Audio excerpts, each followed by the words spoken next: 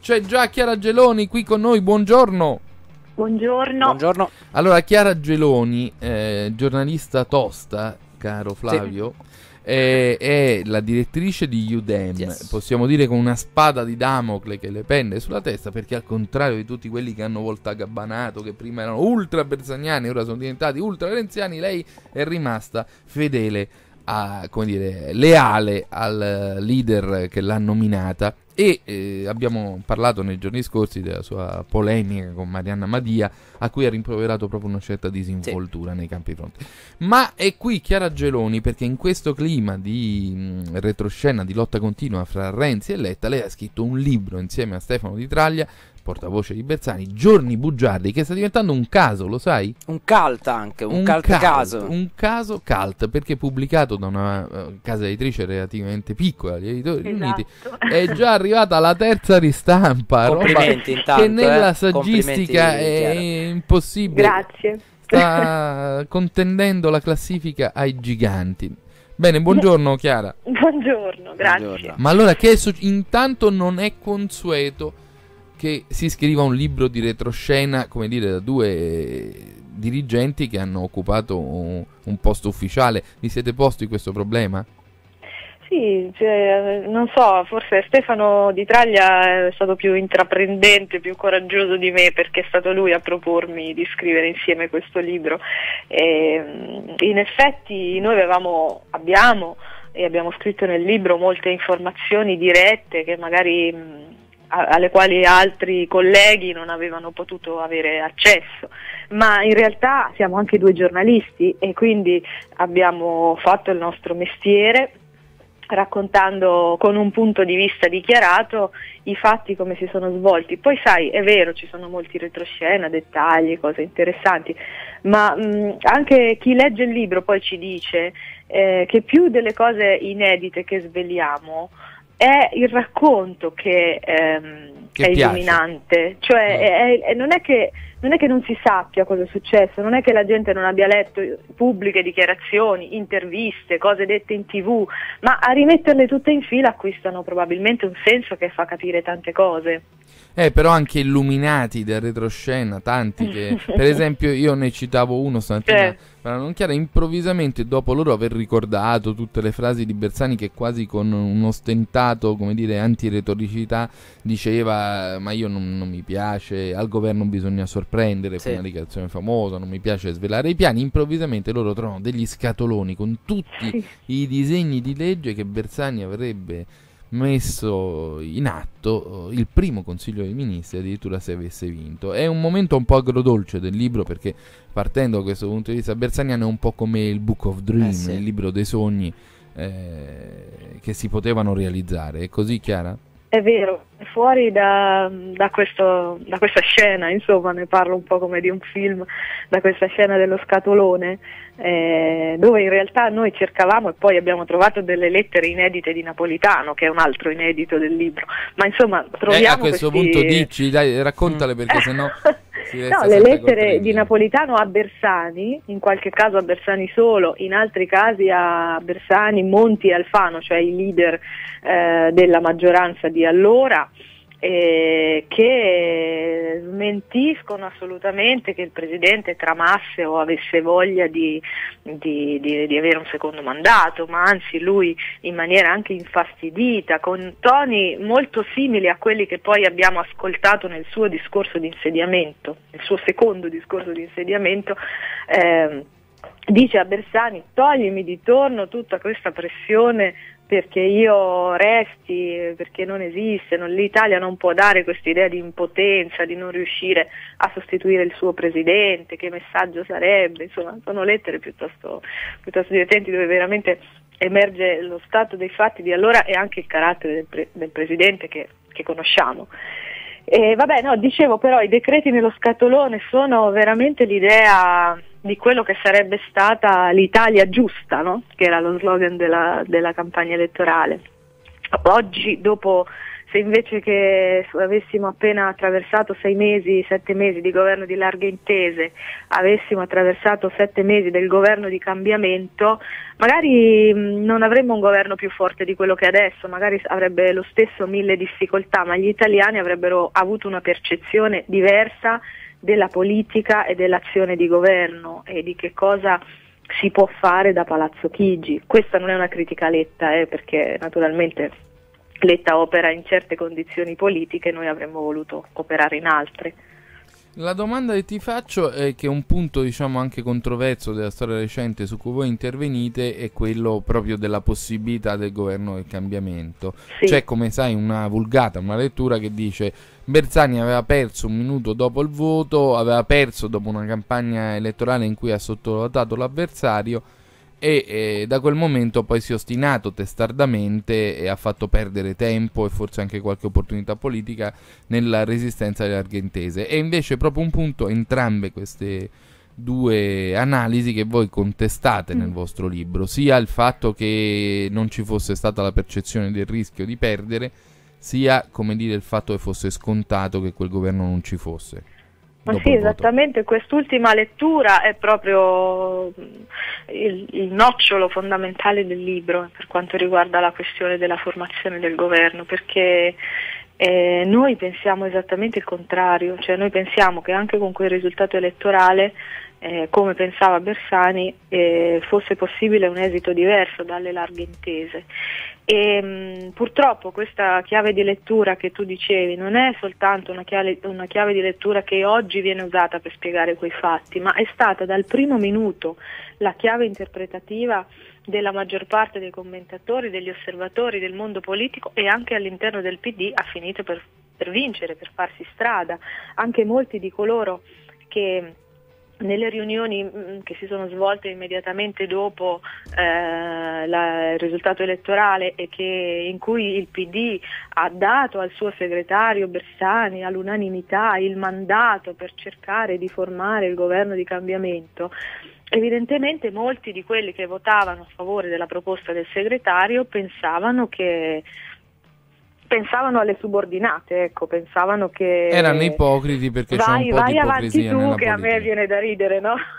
cioè fallo, provaci, scornati e poi noi intanto costruiamo altre soluzioni, questo è evidente. Nell'intervista a Bersani che contrappunta il libro c'è anche un passaggio su questo fatto della sottovalutazione. Bersani dice non solo non ho sottovalutato, ma eh, ho visto forse prima di altri un'onda che arrivava. Voi eh, dite, fate anche un'analisi sui sondaggi, cioè sul fatto che sì. i sondaggi non avevano, come, non so come li definite, l'inganno dei sondaggi. Cioè in quel momento sì. nessun sondaggista aveva nessun. fotografato l'avanzata di Grillo?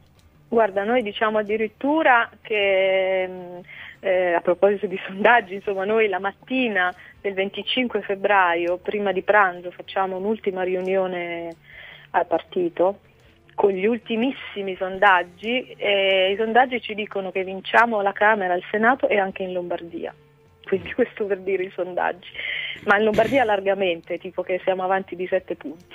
Cosa è successo? Detto questo, detto questo il, la questione Grillo negli ultimissimi giorni della campagna elettorale era effettivamente emersa anche sui giornali, anche, anche diciamo, nel discorso pubblico, ma mh, per tutta la campagna elettorale la narrazione che è stata imposta dal sistema mediatico è stata una narrazione totalmente diversa, totalmente centrata sui rapporti tra Bersani e Monti, eh, totalmente centrata su sulla necessità che Bersani per fare dopo l'accordo con Monti tagliasse fuori Vendola, Fassina, eccetera, eccetera. E questa è stata la campagna elettorale che si è svolta e che è stata raccontata agli italiani.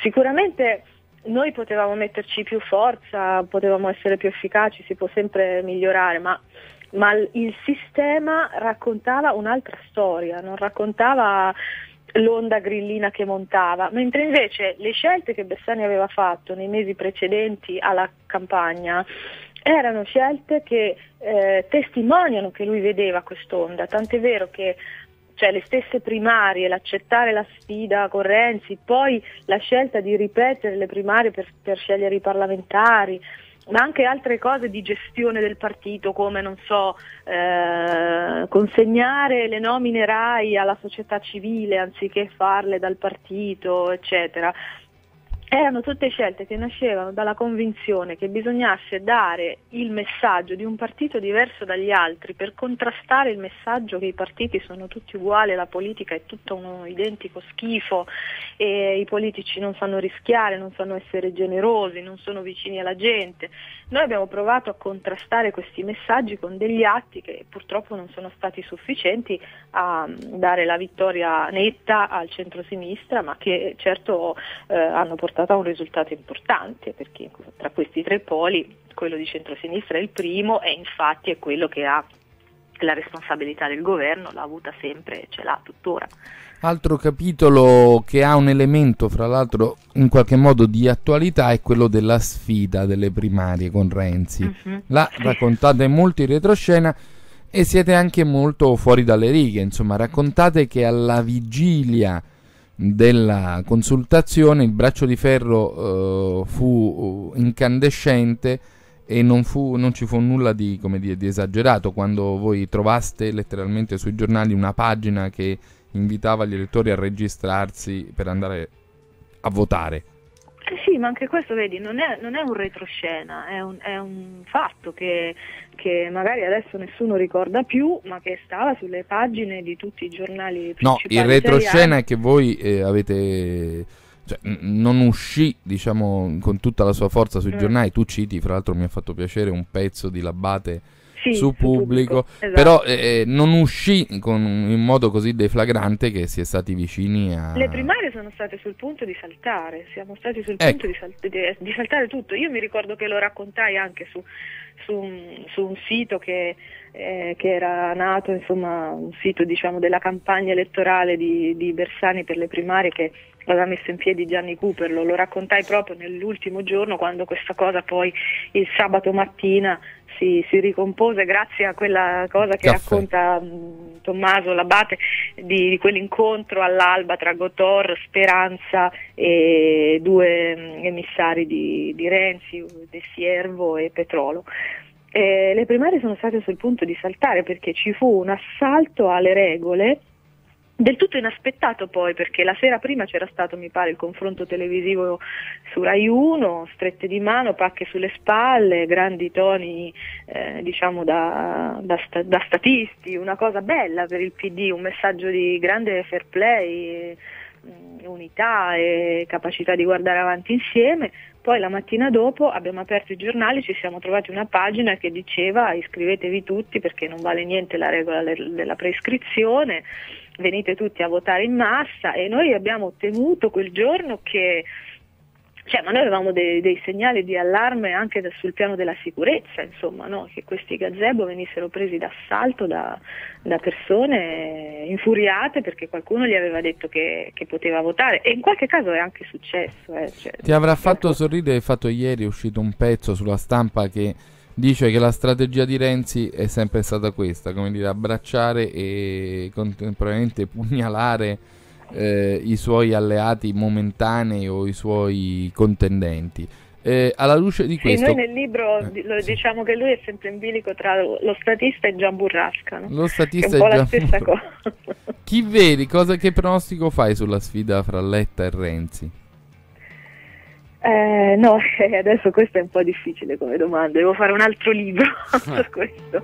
Non lo so, io um, sto cercando di capire bene qual è la strategia del nuovo gruppo dirigente perché non mi è molto chiara, anche qui si procede un po' per strappi, si nega, si nega la volontà di farli e poi si fanno. E anche ieri a un certo punto è sembrato che il PD chiedesse le dimissioni del Ministro dell'Economia, poi questa cosa è stata di fatto Mm, diciamo attenuata. ritrattata sul piano della comunicazione, appunto attenuata, però insomma su questo eh, non è che si possa procedere per, per scatti, per, per, insomma gettando sassi e nascondendo mani, non, non, non, riesco a capire bene la fisionomia di questo nuovo partito, quale potrà essere e di conseguenza eh, quale quadro politico potrà sostenere il governo. A Renzi converrebbe far cadere il governo subito senza se e senza ma?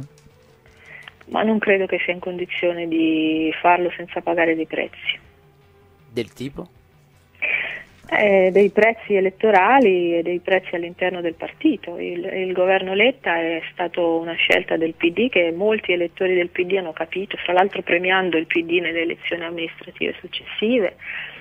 Eh, Letta è un dirigente del PD stimato e, e certo il suo governo, come ho detto prima, ha dei limiti, ma ma mm, mi sembra difficile che possa essere indolore un passo per cui appunto il segretario del PD fa cadere questo governo senza se, senza ma, come dici Chi ha trovato il titolo Giorni Bugiardi?